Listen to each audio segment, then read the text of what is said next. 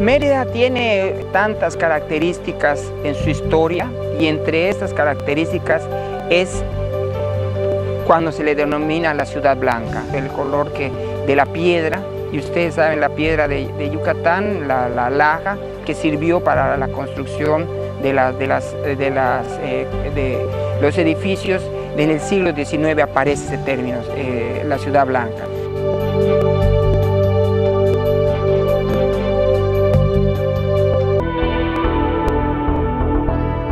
La muy noble y muy leal ciudad de Mérida, título que le fue otorgado junto con su escudo de armas por el rey Felipe II en 1618, es una de las más importantes del sureste mexicano, lugar que se ha ganado gracias al intenso desarrollo en los ámbitos comercial, industrial, cultural y turístico.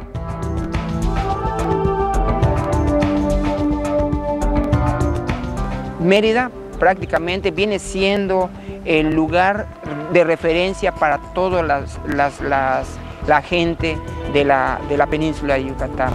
Mérida se caracteriza por tener varias, varias y, variables eh, actividades productivas.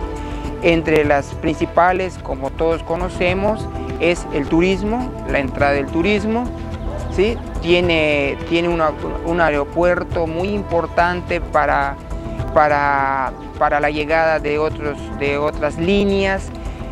Además tiene un comercio bastante amplio.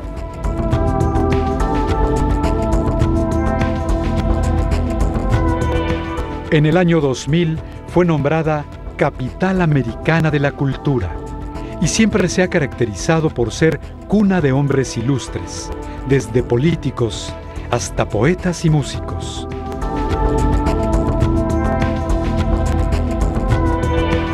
De uno de estos grandes personajes toma su nombre el teatro José Peón Contreras, un pomposo recinto de estilo neoclásico francés en el que constantemente se llevan a cabo variadas exposiciones y actividades artístico-culturales.